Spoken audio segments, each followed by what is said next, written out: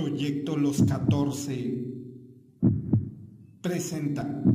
Basado en los cuentos y leyendas de J.S. Pascual. Los cuentos del abuelo. El caldo de frutas.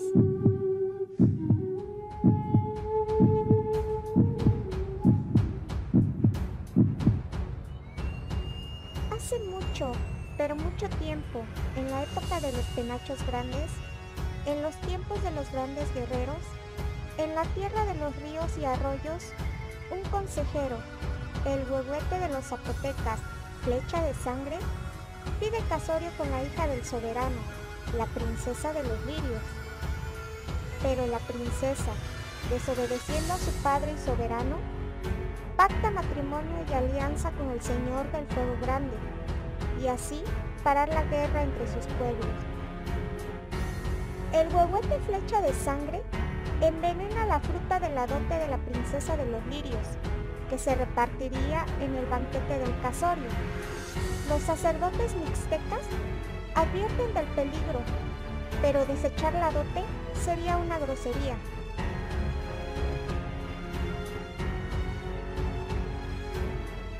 Cocineras mixtecas y zapotecas se unen y crean un guiso nuevo y lo llaman caldo de frutas.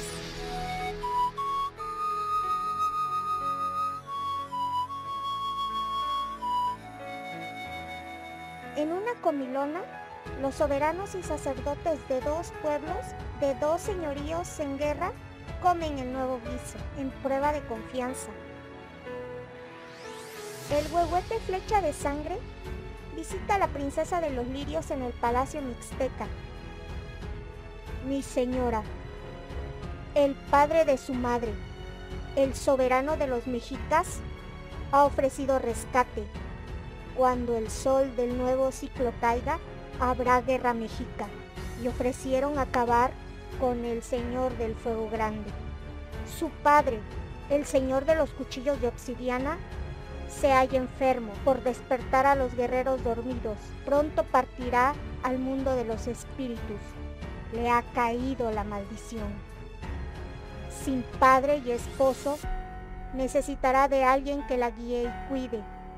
Mi lanza y mi fuerza está a su servicio. Pero la princesa de los lirios, viendo la ambición de flecha de sangre, se negó a escapar. El casorio de la nueva alianza se consumó. Entre festejos y alegría, la nueva era mixteca zapoteca nacía. En las sombras de la intriga, el huehuete flecha de sangre apalabraba invasión, pero sobre todo la muerte de un soberano, mientras una maldición antigua consumía el espíritu del soberano de los zapotecas. Continuará.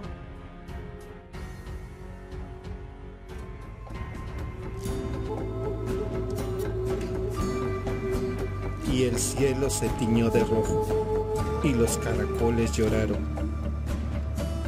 Con el sacrificio de una doncella, luna y sol se juntaron en una sola raza, y los dioses volvieron a hablar con los hombres.